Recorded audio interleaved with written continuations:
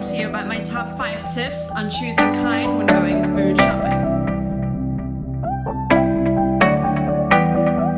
When we enter a store and we're about to spend money on clothes, food, beauty products, cleaning products, we make a series of choices that have an effect on our health, um, the environment, and the animals that we share the planet with.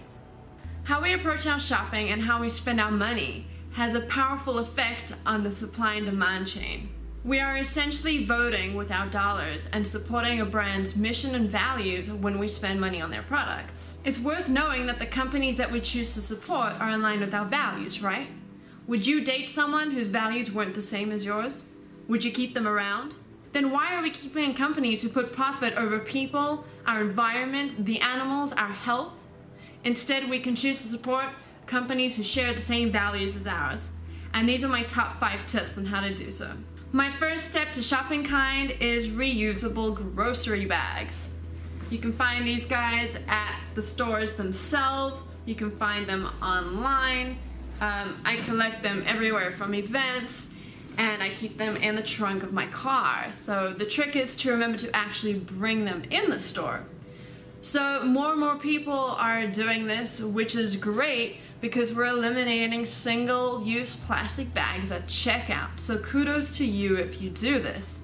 Um, we've actually created a socially acceptable, kind, and encouraged behavior that would have probably looked really weird 10 years ago if people started walking into the grocery store with their own bags. Okay, cool kids, what happened? We remembered to bring our reusable grocery bags to the store, but forgot about all the single-use plastic bags that we tear from the produce section every time we want to put our bananas in there, which already have a cover. Americans alone throw over 100 billion bags a year. 10% uh, of those bags land up in the ocean and are mistaken for food by marine species that normally eat jellyfish, squid, and other animals that resemble a plastic bag and water. Never mind the awful impacts of plastic on our environment, the impacts on our health are extremely terrible. Plastic is made up of chemicals that leach into our food, which then get ingested by us. Over time, these chemicals have been linked to genetic damage, birth defects, hormonal changes in our body. In children, the chemicals can cause harm to their developing immune system. But there's a solution though. Reusable bags are made from polyester, they're eco-friendly and washable, you can find them online on Amazon. Um, one of my favorites is the Barrico brand, and this is what it looks like, the logo. I will place these links below so you can check them out, but this is quite a big bag. It's made from polyester and it has a drawstring so you can tighten things up. And that makes a, that makes a really huge difference. Um, I've also got these bags, these are the flip and tumbles. You can also get them off Amazon, and I've had them for years. They've served me well, and um, they're reusable, and you save a lot of plastic by using these instead. So my third step is choose vegan. Vegan, but I like bacon, I like sushi. I know what you're gonna say. And yeah, sure, I used to like the taste of those things too, until my distaste for violence against animals overrode the taste for their products.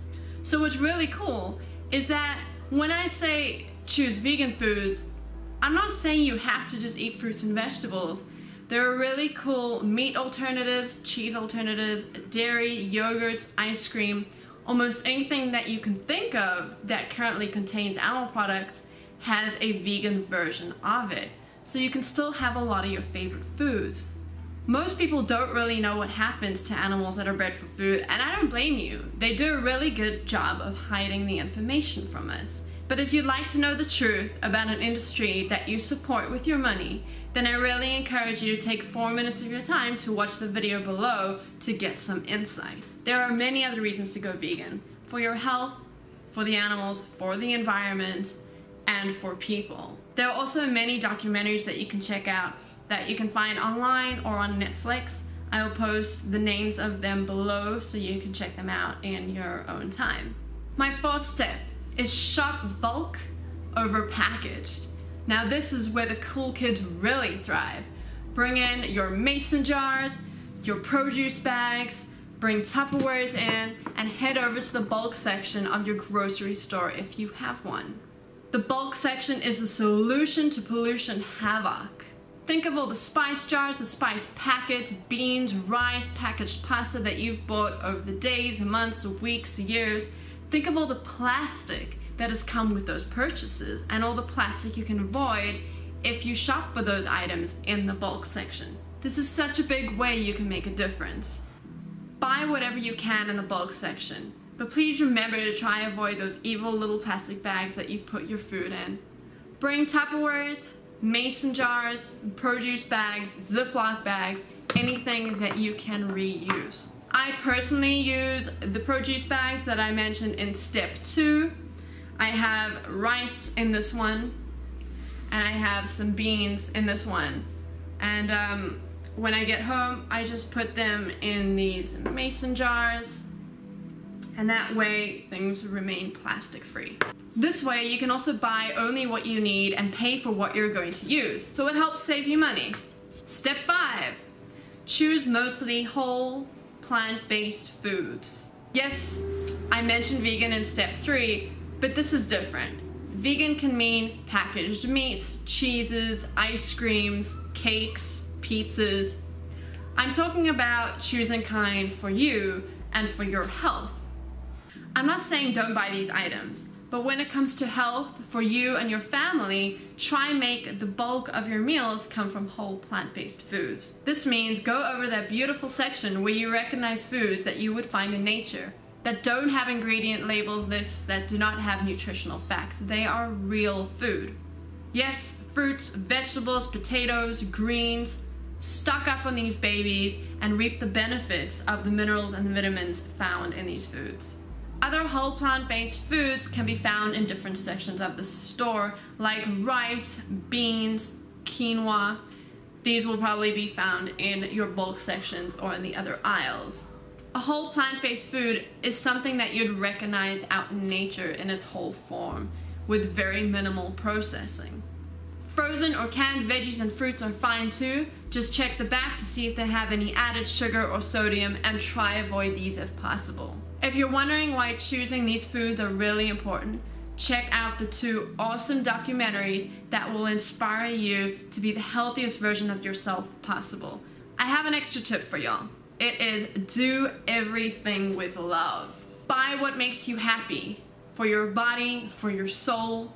These tips shouldn't be daunting. And if they are, do one at a time. Implement one before moving to the other. This should be fun and exciting. You're doing this for yourself and for the environment and you're gonna feel awesome about it.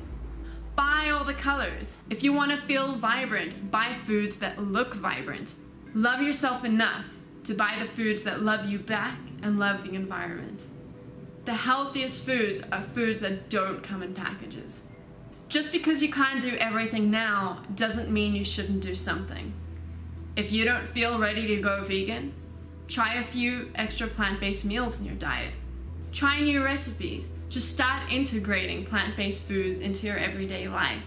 But do it all with love and kindness. Be kind to yourself and don't beat yourself down. Do everything with love and abundance.